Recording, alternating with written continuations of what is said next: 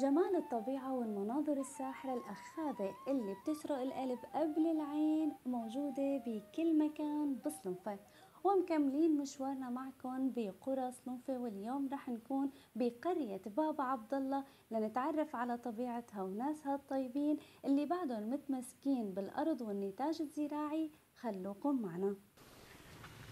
ضيعتنا نحن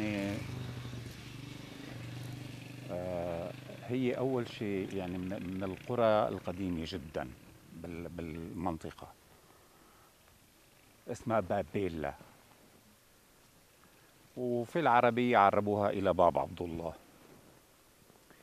آه، باب عبد الله تشتهر بمعظم زراعات الساحل السوري الجبلية مو الساحلية.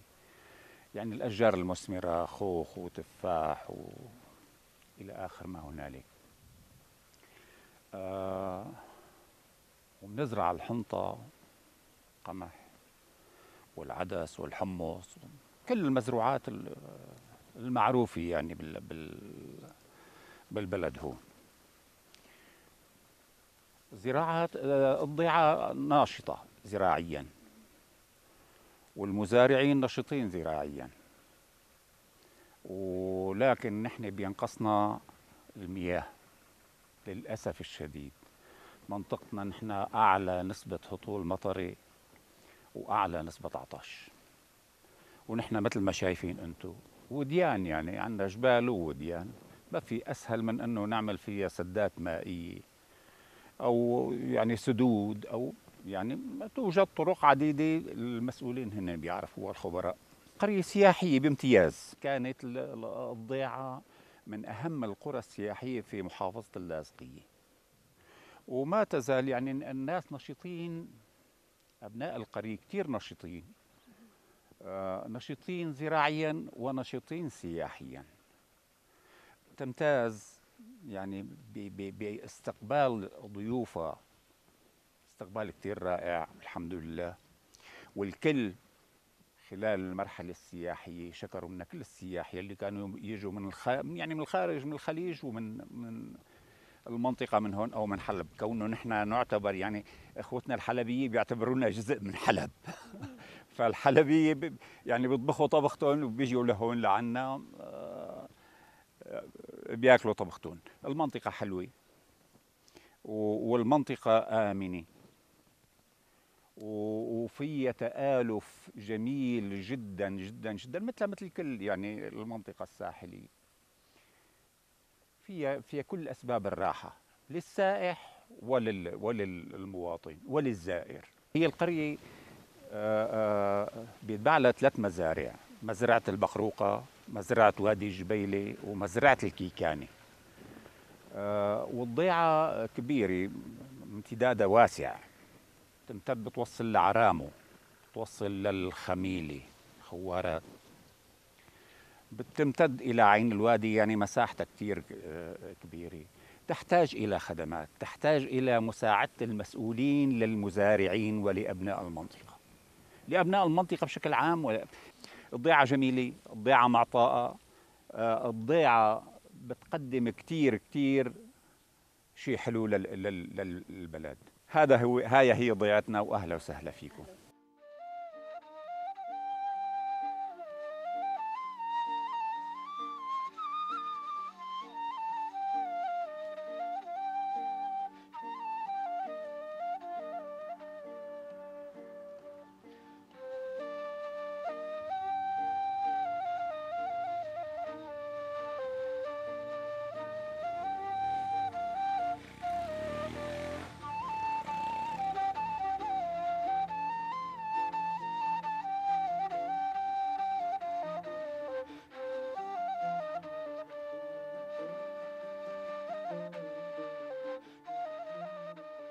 أنا عمري لا يقل عن 77 سنة مواليد ل 47 أه بحكي لك عن تاريخ ضيعتي. قريتي كانت تشتهر بالمحبة لبعض البعض قبل كل شيء. كنا نحن إذا زلمتنا بده يحصل بتعرفي يعني كنا نفلح ونزرع وهذه أه كنا نعاون بعضنا بعض نساعد بعضنا بعض. مريضنا الكل نكشف عليه يعني ونتلافاه ونعين عناه كان الحب قبل كل شيء. وإذا ما في حب ما في شيء. كان حبنا على أخلاص دايم مستديم لحد الآن والحمد لله رب العالمين. آه بعدين يعني يعني بدي أحكي لك أنه آه بالنسبة للزراعة للفلاحة للهادي كانت هي مهنتنا. كانت بيوتنا من تراب يعني ما كانت طورت الحالة مثل هلا. احكي لي بشو مشهورة بالزراعات؟ شو أكثر شيء بتزرعوه والله بالوقت الحالي في تفاح في جوز في خوخ وهذا كله موجود عندنا يعني ما في واحد غير الذي عنده من هالأصناف هاي وإنجاز وهي زراعتنا وهذا الذي بنشتهر فيه بالوقت الحالي. تحكي لي عن طبيعتها. والله طبيعتها بالأول كان يصير ثلوج كثير وكان نساعد بعضنا بجرف الثلج عن السطايح يعني كانت السطايح تراب تخاف العالم يروحوا يهبطوا عليهن من من الثلج.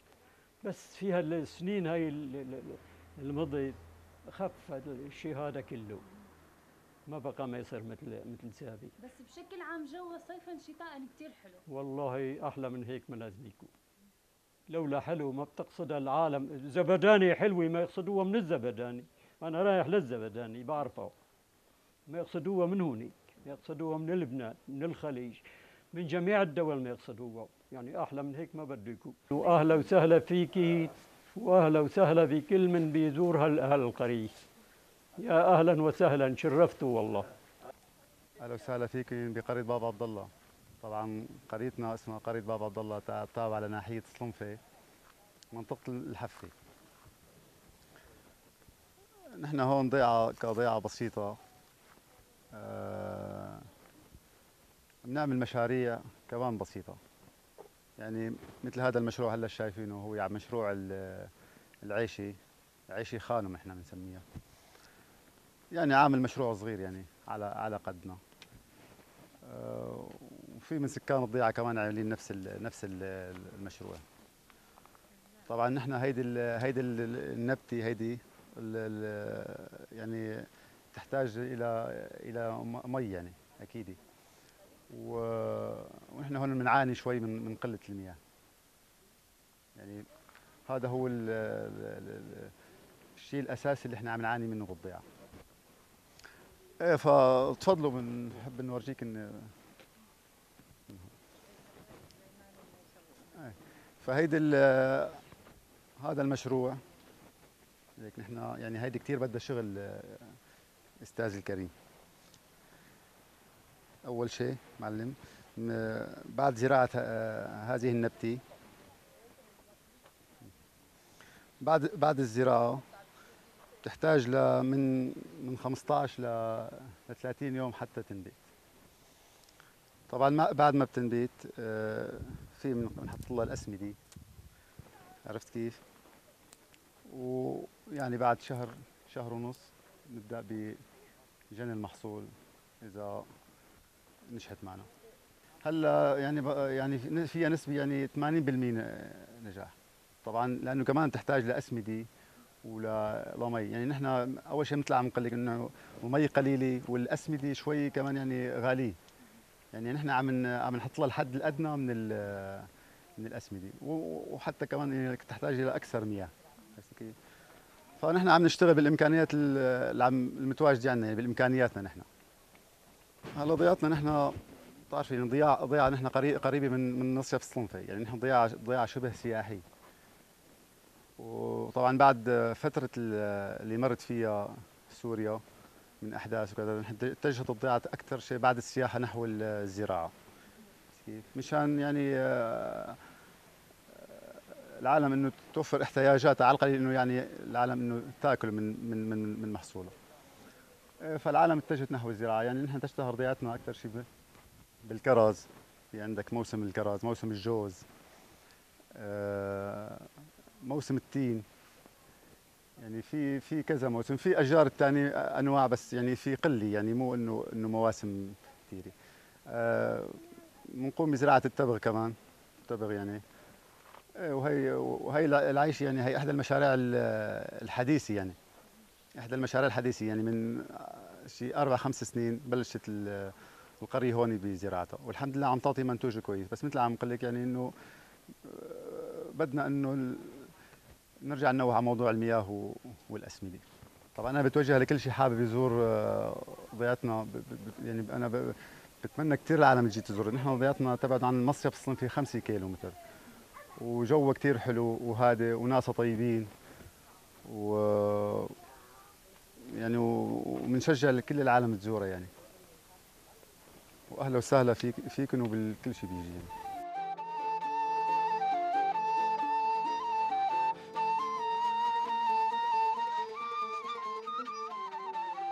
كويسين واهاليها كويسين وكل شيء والله. الحمد لله. احكي لنا أيام زمان كيف كنتوا تخبزوا على التنور؟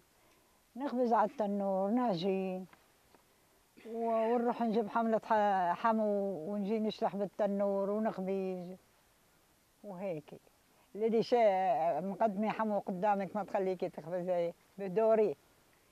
آه إيه كنتوا أدوار. أي والله. بس كنتوا تجتمعوا كل نسوان الحارة أي مع بعض. والله نجتمع. كان تعب كثير أولي كان تعب كثير إي والله يا بنتي كان تعب كان تعب كثير بس بتعرفي كان أحسن من هاللي مهم. هاللي من الغلا وهاللي ما بعرف شو. طيب شو كنتوا تغنوا أنتوا عم تخبزوا على التنور؟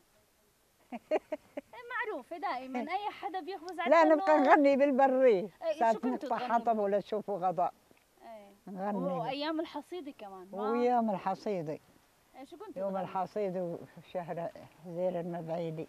واخي ينقي لك ويلي من هالحمصية احكي لي عن أعراس الضيعة على أيام زمان. عرس. إيه والله كانوا كويسين عيني الريوح من هاليوم لتاني يوم الحنية للعروس العشاء المساء للصبح واللبسة إيه ونجيبها عد... ونجيبها على الضيعة والعريس بدهم يحطوا هيك بيحطوا بي هيك بوسعة ويد- ويتحوطوا كليتين وبدهم يلبسوا مهم. بس ما ما يبقى أول يروح العريس مع- معنا تنجيبها للعروس تنجيبها للعروس بلا ما بلا ما يكون من العرس معنا. إلى قلنا بالرجمي وبدنا نغني للنموالي يلا شو كنتوا تغنوا؟ لنا. نفرق لي وهيك. إيه شو كنتوا تغنوا هذيك الأيام؟ غني غني ما منفد بالها بخشيش ومعنا جماعة بدها تعيش ودعوا للعرس تعيش. ويجيبون انتين ويجيبون العروس يعبوا لها هيك صينية يحطوا فيها مربى يحطوا فيها فرنكات. ويزت ويزت العرس العرس عرس العروس. والدنيا تنهار والولاد يركضوا يلقطوا. يعني هي هي عادي عندكم هي؟ هيك كانت هلق لا بقى هلق. هلق صاروا بيروحوا بالحاضر بيجيبوها للعرس وبيجوا. نبقى نروح من العشاء. قلنا للعروس مدي إيدك مديها وإيد الثانية رديها وعن عيني وابيا أعطينا أمر حنية ونعد وعن عيني وخيا أعطينا أمر حنية وهيك تنعد على كل عائلة للعروس. والصبح نقول ناخذ جمال قوم اركبي نايفي خيل زيت والأمارة واقفي حلفت العرس يا عيني ما بتركب ما جيبها يا على كبير الطايفي ونعد والله حلوين. هيك كنتوا عايشين هذيك الأيام؟ لكن عايش لكن ما كانت تطلع عروس. بكل هالبلاد وما ياخذوني أنا تغني. لا هلا ما يقبلوا لغنينا بيغنوني لحالي. بس مم. أنا عجبوني هلا متغنين والله. إيه، لسه لا، بدي أنا تغني لي بغني شو كنت لسه. تغني؟ والله غنيت كتير. قل يا عمامي قضامي مغبيرة ويا عمامي قضامي ناعمي. قلنا له جبنا له العيشة بالورقة قلنا له البسي يا لبقة قالت راسي ما يلقى لبسته وهي نايمة. وهيك ونعدي عليها على العروس وهيك. احكي لي عن أيام كيست أيامنا كثير كانوا كيسة. وهو بحبك مثل ما بتحبيه. إي والله. طيب اهديه غني غني له هلا إي سامعك ليك ليك. وطلع؟ بحبه وبيحبني والله يطول عمره. ويشفيه ويشفي كل. شيء مرضى. حبيبي برد النفل قمروح ويدركوك العدايا شب قمروح يا خايفي عليك لا تموت وتروح وأرض النفل ما تخبي حدا. وش هسه بدي؟ قال عجب تبكي وعجب تنهي وعجب ليش؟ ويا زعلك يا بنية من زعلي وعجب ليش؟ قال يا حلف على المحبة وتروح بليش خسار ويشمتوا فينا العدو على دلعونا وعلى دلعونا ويا حبايب قلبي وعود تنسونا وعلى دلعونا وطالع طلوعي وحيطت بدي تساور لحد الكوعي وهي سنة الغالة وهي سنة الجوعي وأنا دللتك يا ابن الملعونة على دلعونا على دلعونا جيه البهداوي ما بده جنونا.